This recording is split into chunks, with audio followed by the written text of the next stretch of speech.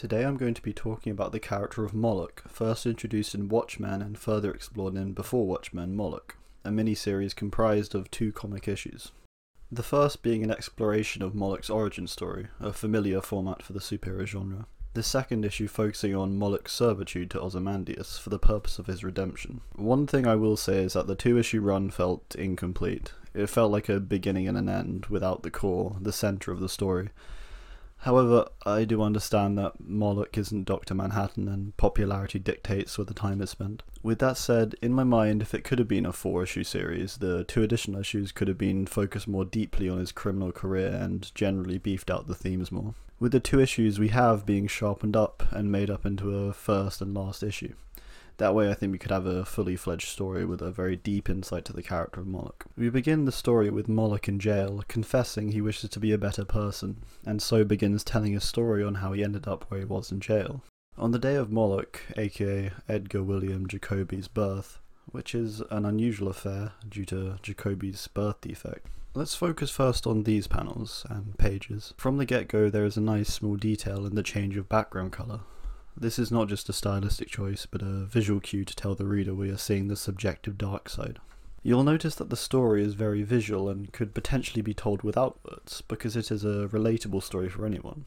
The story of an outsider. One way to look at Jacobi's defect is to consider potentially that he doesn't literally look like a goblin, although that may be the case, it can be looked at simply that the fact is he was born ugly and as a result he became an outsider and was bullied. Could very well be an artistic choice, a decision by the creator to portray Jacobi in the way he views himself, the way that many neglected children may view themselves as ugly or unwanted. You'll find that Jacobi's appearance throughout is usually guised in a shadow, he is blacked out from the world, a shadow in its presence forgotten and unseen, despite drawing the attention of many. By segregating him in this shadowed state, it separates him visually on the page. Maybe also it could further be suggested that his singular colour tone represents the perception people have of him. They simply see the surface level appearance and judge based off this, in turn shadowing him from their world basically the comics trying to show you he's an outsider. Another thing you tend to see in the panels is the lowered positioning of Jacobi. Often he'll be in the background also. When his face does come into view, we get to see the world from Jacobi's eyes. It's a bleak one,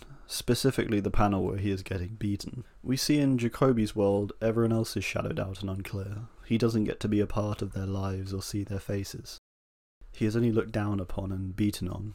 It's almost unimportant who it is that's beating him, but more so the fact that it's happening.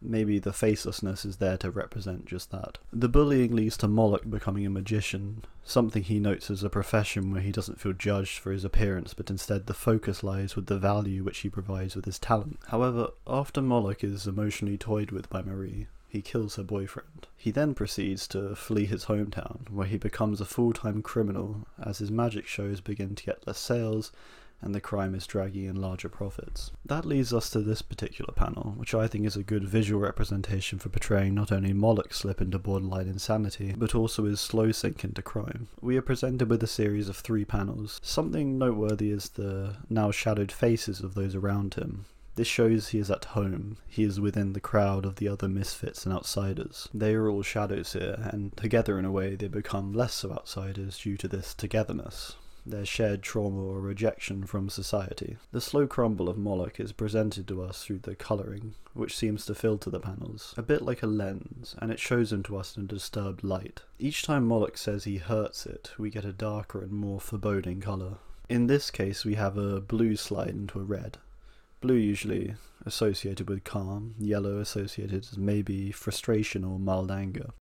And then red, which is full blown anger or fury. Moloch's monstrosity is further emphasized here through his attire. He almost looks like a vampire, Dracula or something. Paired with his increased speed of speech through the caption, the middle image is especially daunting, with the guns held by the men beside them directed to us, society, the society he is repelling. We as the reader are being personally shot at in a sense. I think the point of this page, with its different colouring for each panel, is to show us Moloch as someone who has become uglier as a result of society. The switching colour shows his own mood and reaction as he is objected to othering. With this said, although Moloch is being tortured by society, he is also evidently happy he has ended up where he has.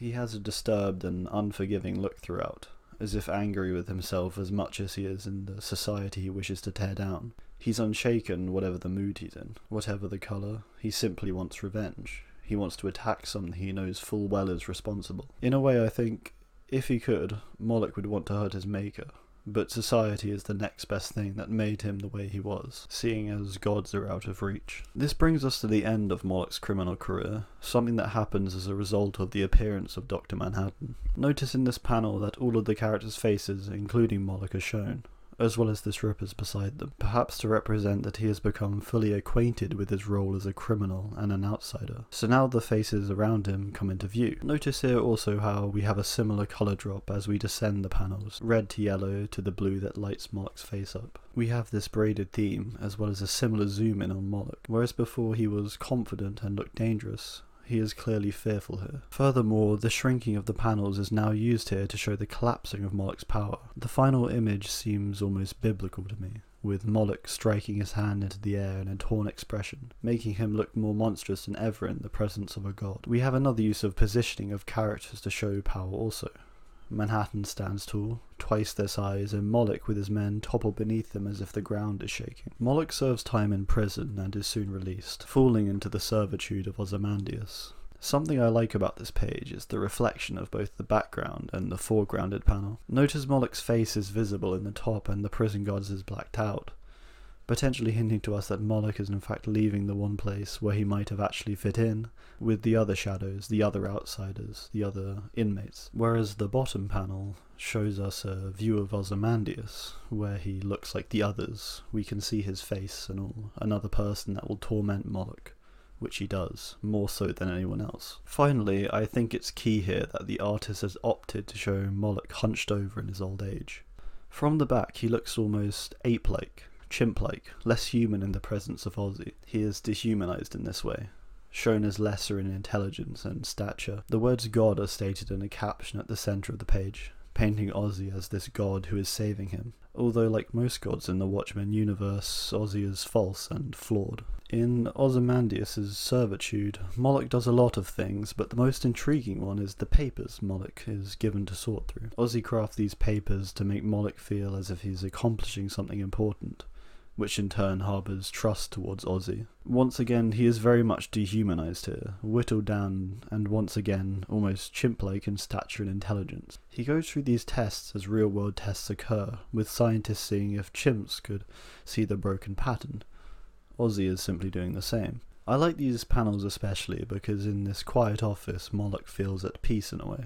The things around him are coloured black and brown. They cast long and ugly shadows which feel at home beside him. The seemingly endless passing of time shown through the clocks and four panels beside them. We have to utilise closure here to experience the time the way in which he would. It's relatable, however, as he struggles with this problem. Ozzy makes the tests increasingly harder. I thought I would include this page simply for this last panel. The heightened position of Ozzy showing his power, yet the tilted stance of his high rise windows shows his corruption and imperfection as the perceived godlike figure. The ending to this comic, in my opinion, felt rushed and also somewhat forcibly trying to place itself within Watchmen, especially with the ending where Moloch is shot by Ozzy and we see Rorschach enter the room. However, if you're yet to read it, as well as Watchmen and the other before Watchmen prequels, I would recommend it greatly. The storytelling is truly amazing, both visually and in writing. I really do hope you've enjoyed this video. I've tried to be as descriptive as I can. If you have, and if you found it interesting, drop a like, and more importantly, a comment because that's really why I make videos like these. I hope I can make people think and help to start discussions. Thank you for watching.